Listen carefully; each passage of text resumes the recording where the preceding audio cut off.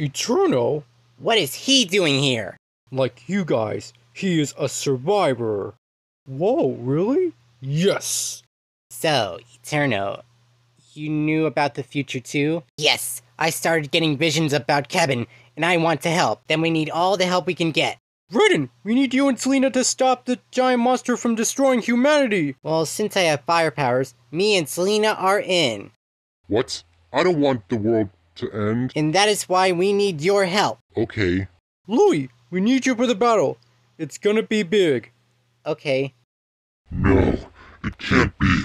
Not them. If they want to play the game, then fine.